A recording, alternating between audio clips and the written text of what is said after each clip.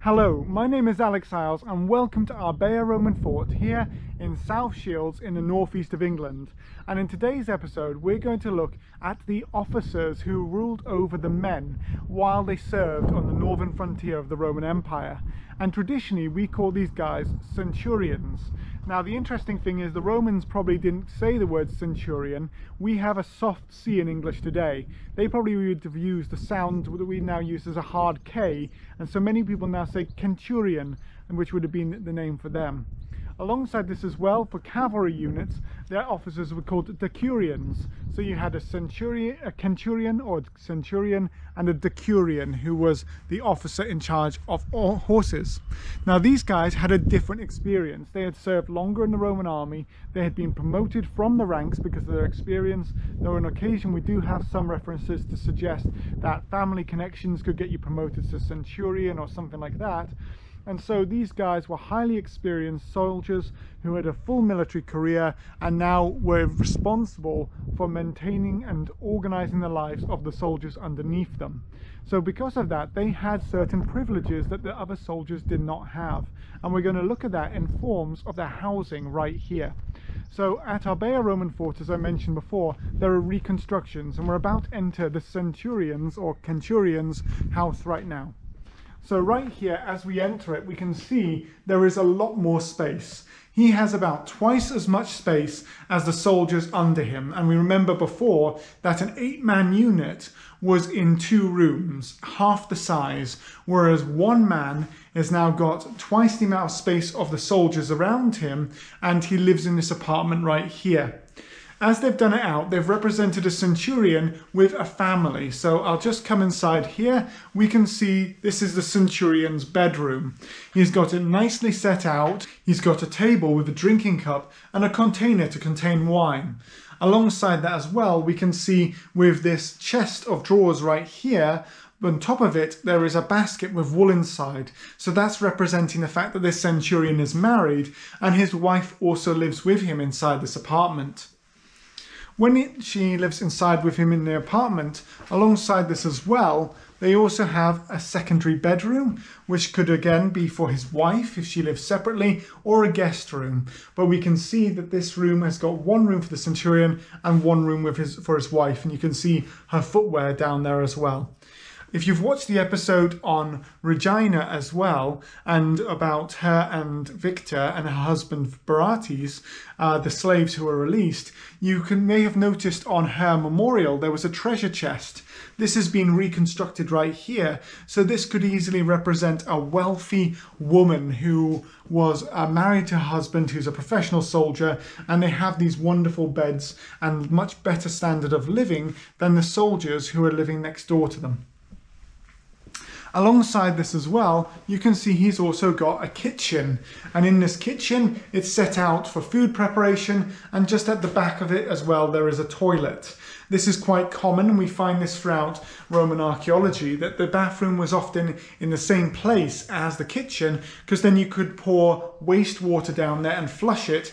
And so the centurion had his own loo. And this is quite special because the soldiers, they would have to rely on the public toilet, which is behind the commanding officer's house in the far corner of the Roman fort. So you have to get up at night time, go out there, or they would go to the toilet between the barrack blocks and they would have an area between those different locations where they could squat down and use the toilet there before returning to bed. Um, and the main form of Roman toilet paper, we actually know, would have been scraps of fabric. And those scraps of fabric would then be washed and reused until they were no longer usable. But so we've got the, the area here where we can see the centurion is having his food prepared by someone, most likely his own personal slave, because again, they're allowed to have slaves. He's got a pair of uh, hares up there that he's going to eat. He's got some fish and also imported wine, which again shows his status. He's uh, this is a reconstruction of an amphora, which is in the Great North Museum, Hancock, and has a stamp on it that shows it was imported from Spain. So we can see again that there's that nature of imports. The centurion, he's paid more than his soldiers, and because he's paid more than his soldiers, he's able to import in things that are going to make his life much more comfortable. Um, we can see from most Roman records that a normal soldier was paid around about 300 denarii a year, an auxiliaryman around about the same or a little bit less.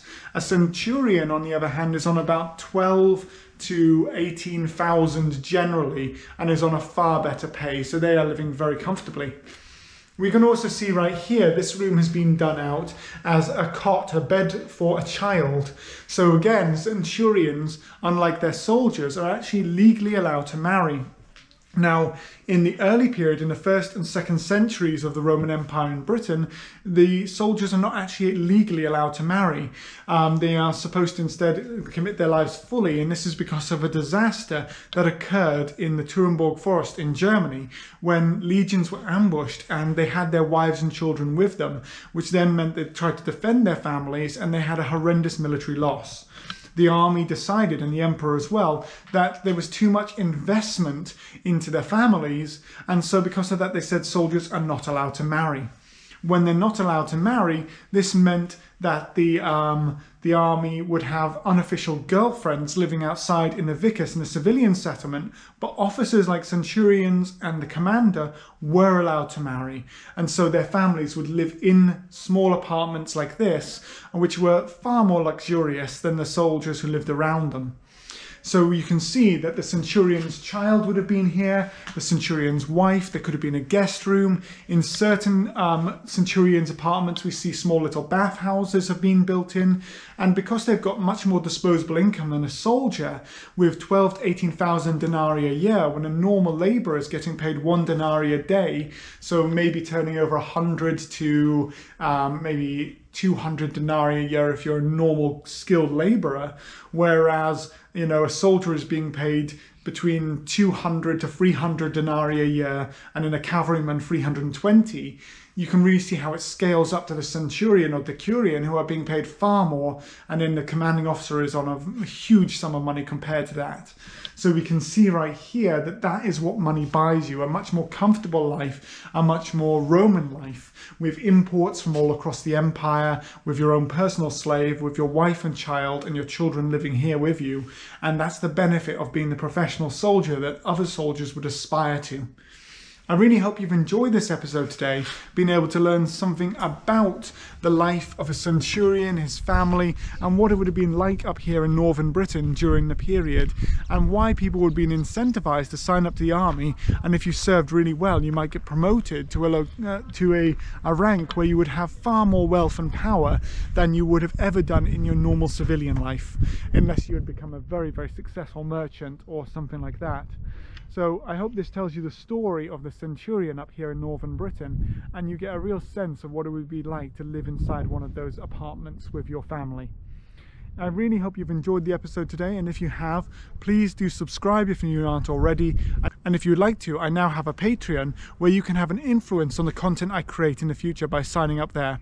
Until next time though, stay safe and well and thank you so much for joining me for this episode.